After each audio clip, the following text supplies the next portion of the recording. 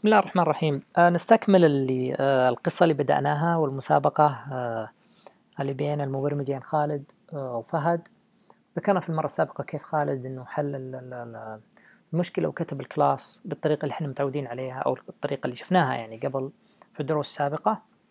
الآن خلينا نشوف فهد آه كيف راح يكتب ال class وليش راح يكتبها آه بالطريقة هذه آه الجديدة.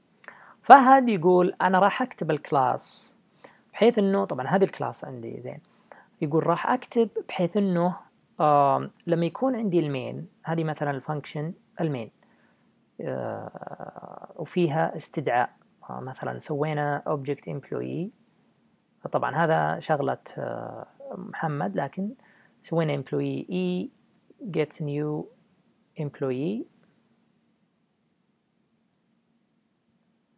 مضبوط. قال لي لو سوى محمد employee جديد كذا ما راح أسمح له إنه يقول e dot مثلا ID gets مثلا حاجة معينة مثلا آه ألف. زين. آه خالد استخدم الطريقة هذه وسمح شفنا البرنامج قبل آه كيف يشتغل. محمد قال لا. قال أنا ما راح أسمح أو عفوا فهد قال ما راح أسمح لمحمد إنه يسوي الحركة هذه. أنا راح أمنع محمد من إنه يدخل على ال attribute حقات ال object بشكل مباشر. زين؟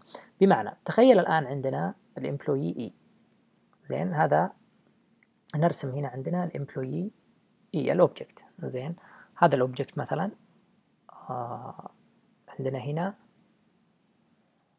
وفيه عند ال object فيه أربع attributes آه هذه ال first name وهذه ال last name وهذه وهذا ال salary وهذه وهذا ال ID مضبوط؟ طيب. الآن بالنسبة لخالد كان يسمح لنا أن نجي ندخل على ال object هذا طبعا ال object نسميه e هذا e زين. من نوع ال class employee خالد كان يسمح لنا ندخل على كل واحدة من ال attributes هذه. زين مباشرة. آه آه فهد قال لا قال أنا أبغى أستخدم ما يسمى بال information hiding زين ذكرناه سابقا. خلونا نكتب اسمه مرة ثانية. information information hiding أو إخفاء المعلومات. مضبوط. طيب. آه كيف يعني؟ قال أنا راح أحط حاجتين كل attribute راح أحط لها حاجتين. مضبوط؟ راح أحط لها set و get. زين؟ ففي set و get لل attribute هذه first name في set و get لل attribute last name. زين؟ في set و get لل attribute salary. وفي set و get لل attribute آه ID زين؟ اذا راح أحط set و get لكل واحدة من ال attributes هذه. طبعا ال set وال get هذه عبارة عن methods وراح نشوف إن شاء الله مزيد من التفصيل كيف نكتب ال methods هذه. لكن وش مهمة ال methods هذه؟ قال لي قال فهد قال أنا راح أحمي البيانات راح أخفي أول شيء البيانات هذه زين؟ فكان يحط عليها حاجة هنا تخفيها. ما عاد يقدر يشوفها فهذه راح يعطيك error ال compiler Eclipse راح يعطيك error فلذلك هذا غير مسموح فيه الطريقة هذه. زين؟ فهذه أول خطوة سواها. اللي هو فهد. زين؟ كيف يسوي الخطوة هذه؟ قال لك بدل ما إني أكتب بدل ما إني أكتب public زين؟ وبعد كذا اللي إحنا متعودين عليه مثلا public double salary. زين؟ هذا قبل إحنا متعودين عليه قال لا راح أشيل public هذه وأحط بدالها كلمة private. واستخدم ال data type اذا ال modifier راح أغيره بحيث إنه بدل ما يكون public راح يكون private زين؟ بالطريقة هذه خلاص صارت خاصة. private ما أحد يقدر يدخل على ال attributes هذه من برا ال class واضح؟ اذا محمد لما يجي يكتب ال main هذه ال main ال method طبعا ال class اللي هو يكتب فيها محمد هي test employee وهي class مختلفة عن class employee زي ما قلنا قبل إنها driver class زين؟ فما راح يقدر يدخل على ال attribute هذه لأن ال attribute هذه هي private attribute طيب السؤال الآن آه، كيف تشتغل ال setters وال getters قال لك فهد قال شوف أنا بالضبط أنا زي الشخص اللي عنده آه بنك زين؟ قال الشخص اللي عنده بنك ما يجي يحط لك الخزنة حقت البنك ويفتحها للناس ويقول للناس تعال اللي يبغى ياخذ فلوس يبغى يحط فلوس بالخزنة يجي يفتح الخزنة يحط فيها فلوس. اللي يبغى ياخذ فلوس من الخزنة يجي يفتح الخزنة ياخذ منها فلوس. قال لا هذا ما يصلح كذا. زين؟ لازم نغير لازم أحمي بياناتي. مضبوط؟ فأجي أول شيء اقفل الخزنة هذه أحميها. ما حد لها مفتاح ما حد ما حد يقدر يدخل عليها. وأحط حاجة لل set وال get زي ما تقول زي ال cashiers هذولا زين؟ فإذا أي واحد يبغى يحط فلوس هنا يستخدم ال set فنقدر نقول إن الطريقة تمشي بالشكل التالي. أي واحد عنده data آه، يبغى يحطها هنا يبغى يحط value قيمة يحطها عن طريق ال set. يعطيها الست وال set هي اللي راح تحطها في ال attribute أي واحد يبغى يقرأ ال attribute يروح يطلب من ال get أن تقرأ له ال attribute اذا بشكل عام راح نقول إنه عملية ال access لل attribute نسميها الكلمة access زين؟ اللي هي عملية الوصول لل attribute سواء تبغى تقرأ ال attribute يعني تبغى تقرأ قيمتها أو تبغى تكتب في ال attribute تبغى تضع في ال attribute قيمة أو ال property حقت ال object عملية ال accessing هذه سواء read أو write زين سواء read أو write لابد إنها تتم عن طريق method set أو method get. ال read تتم عن طريق ال method get عشان تقرأ ال attribute وال write تتم عن طريق ال method set عشان تكتب في ال attribute. ممكن نوصلها بحيث إنه يكون يعني يتضح الشيء هذا فنقول انه آه طبعا خل خل أعدلها شوي بس عشان كنت تتضح آه خل أعدل الترتيب عشان تتضح آه أكثر. آه آه خلينا نكتب هنا نقول هنا ال write هنا ال read.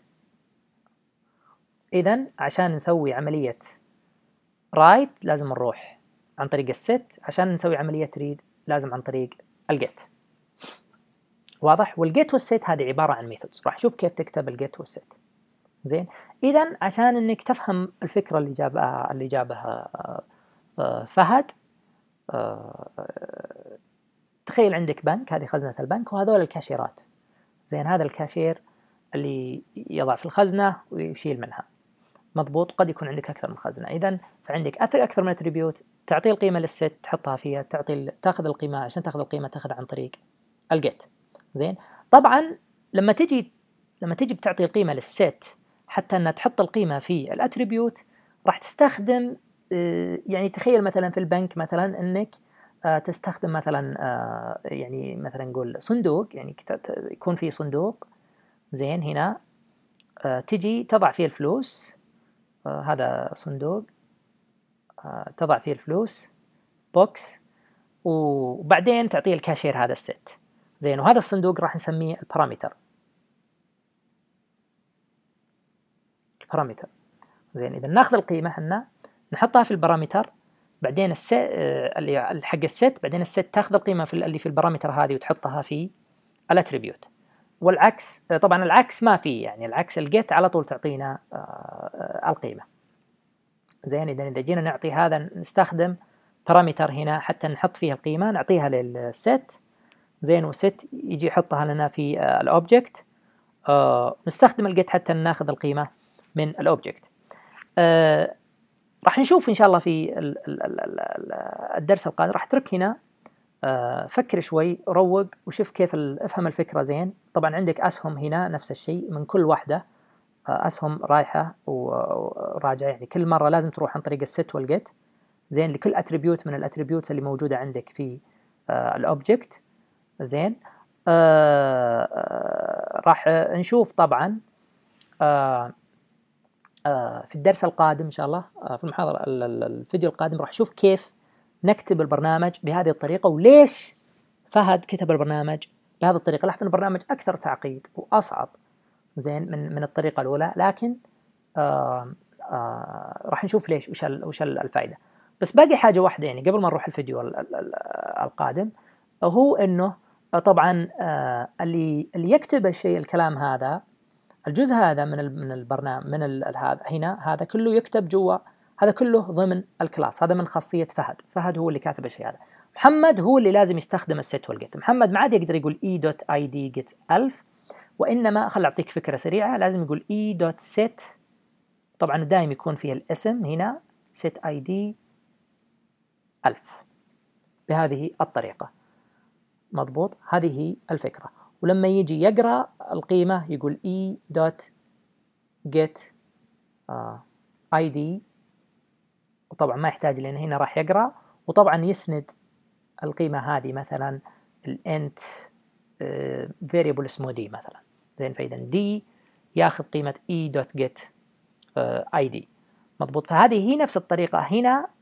الإسناد اللي هنا خلاص ما عاد يقدر يسويه محمد. لازم يستخدم الطريقة هذه. لازم يمر عن طريق set اي دي زين آه شوف إن شاء الله الفيديو القادم. آه نشوف كيف تكتب البرنامج.